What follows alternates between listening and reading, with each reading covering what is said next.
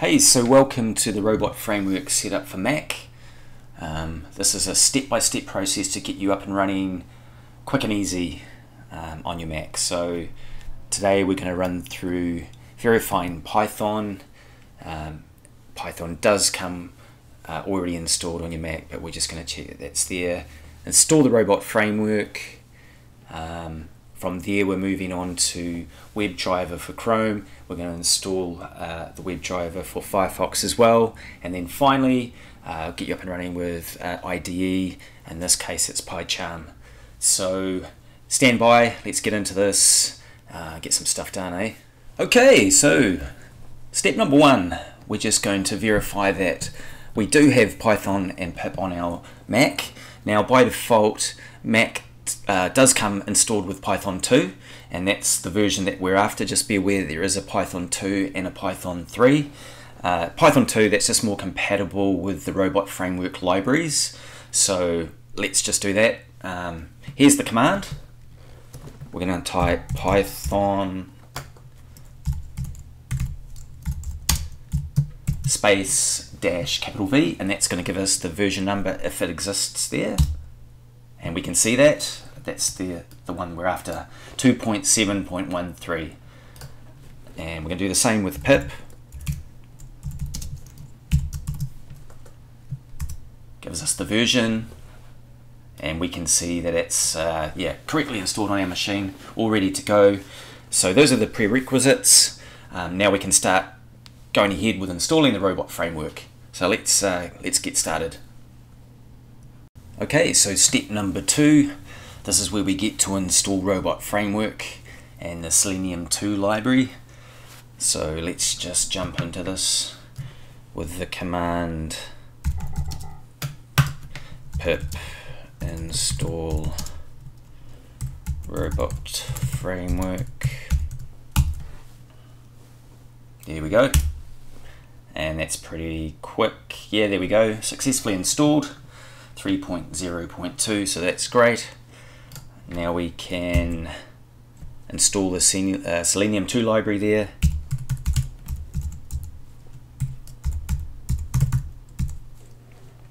Just copy out that command there we go. Hit return and that's uh, successfully installed as well. You can see down here. Now very quickly uh, will take you to the pypi.python.org and we can see uh, all the libraries that are available for Robot Framework. So that's worth checking out.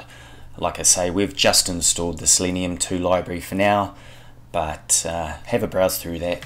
Um, feel free to install what you what you like at this stage, but for us, we're just going to stick with Selenium 2 for now.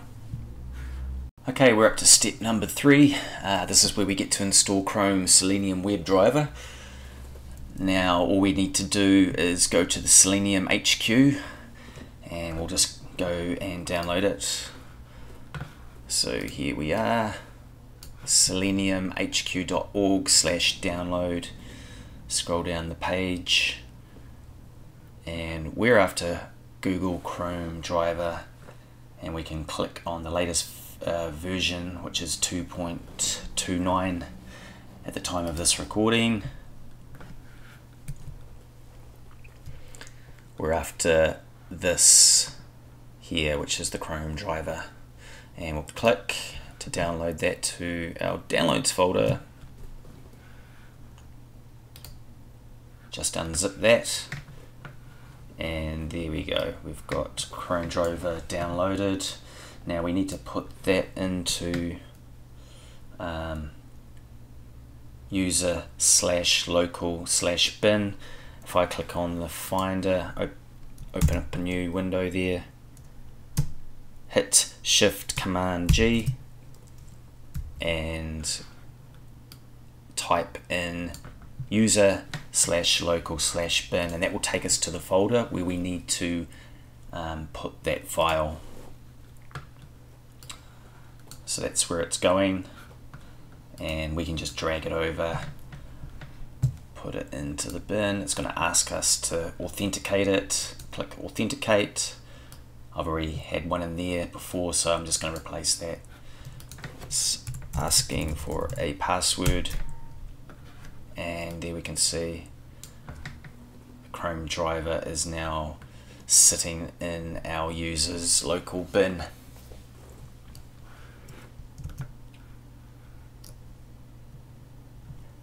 that's us for step three now we're up to installing the Firefox Selenium WebDriver. So we're just going to start with um, Chrome and Firefox for now. We're on a Mac. Um, we can get a little bit more tricky down the track. But let's keep this really simple.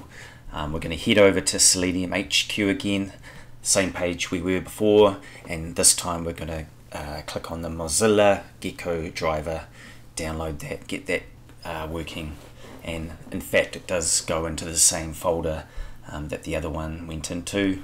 So over to selenium.org, same page we were before, and we'll scroll down and we're after Mozilla Gecko driver and we can uh, click on the latest version number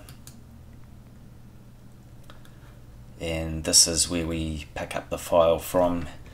So make sure you click on the Mac OS version. And we're going to click on that and download it. It's all happening now as we speak.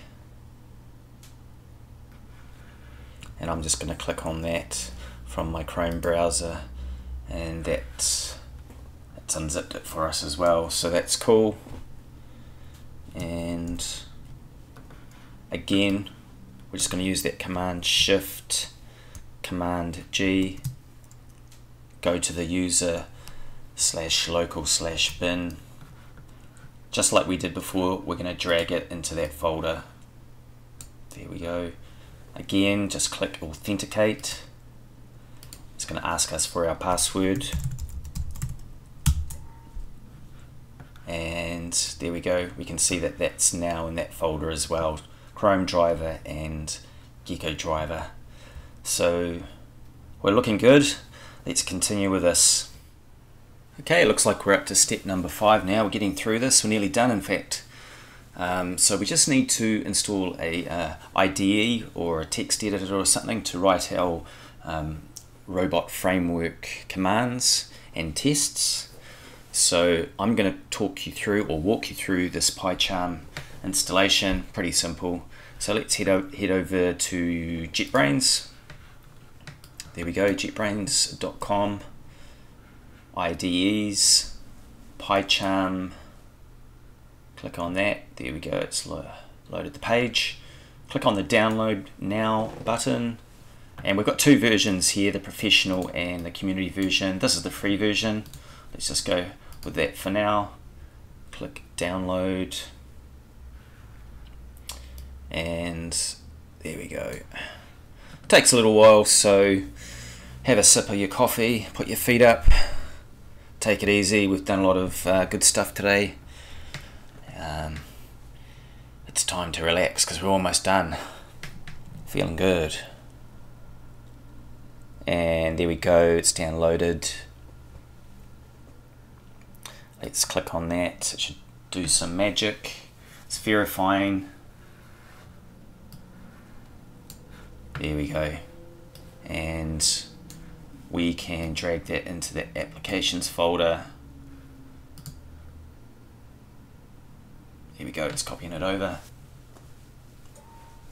Nice work. And let's just get rid of that window. Into applications.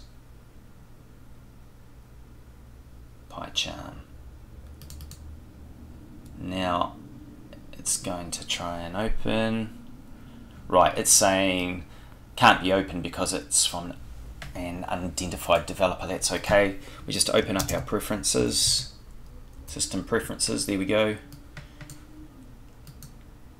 Tap the security and privacy link. And we're just going to say here PyCharm C was blocked but we're just going to say open it anyway. It's fine. There we go. Open. And now PyCharm is opening up for us. There we go. It's best just to go with the default setting so I'm just going to click OK here. Read those privacy policy conditions. Yeah, I'm a, I'm a speed reader. There we go. Yeah, accept that, that's cool. Again, I'm just to go with the default settings there. That should be all fine. And we can create a new project. Click that button.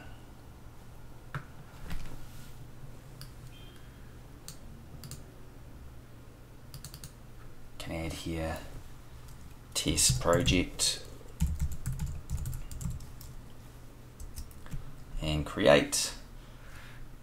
Comes up with tips. And we'll just close this window down.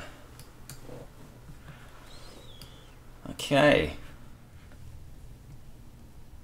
So now what I want to do is just change the theme of uh, PyCharm so I'm going to go to um, preferences and you'll see here the theme is on default at the moment. I'm just going to simply change that to Darcula.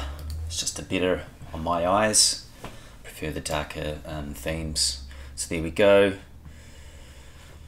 And preferences and plugins is our next port of call. Click browse repositories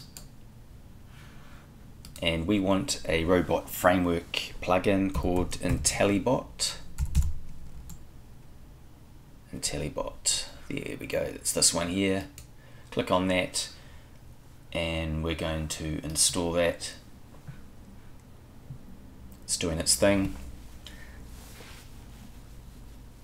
And that is downloaded, I think, by the looks. So we're good. We've got our uh, ID E all ready to go and uh, that's pretty much it for this. So we're all done and dusted. Um, hope you got a lot of value from those tutorials. Subscribe if you're wanting to uh, see some more from me. Give me a like. Um, and if you're interested, pop over to my website. I've got some free resources for you over there. Um, look forward to seeing you. Bye for now.